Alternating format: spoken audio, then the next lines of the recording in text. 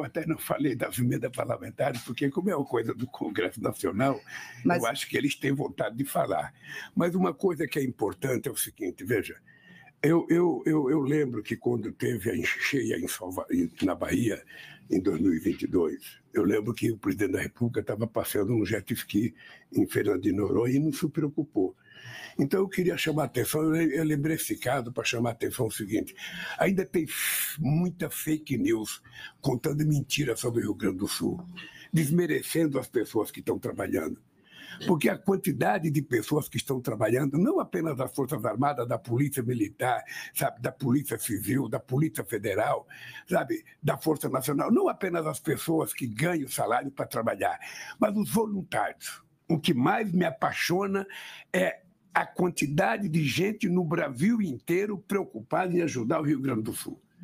Ou seja, eu digo todo santo dia, um país que tem os seres humanos com a bondade que tem o Brasil não merecia essa indústria de fake news mentirosa, sabe? Eu diria até canalha, que vive pregando mentira, vive deturpando fala, vive pegando palavras e vive contando mentira para a sociedade.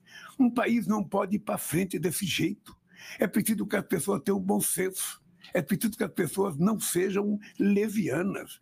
A situação do Rio Grande do Sul é muito delicada e aí os parlamentares, sabe, liberar as suas emendas, eu acho extraordinário isso. Se tiver emenda de senador, também libera. Ou seja, todo mundo quer ajudar o Rio Grande do Sul. Todo mundo. Agora, é preciso tomar cuidado, porque tem gente que não quer ajudar. Porque tem gente que está apostando na desgraça. Porque tem gente que quer que não dê certo.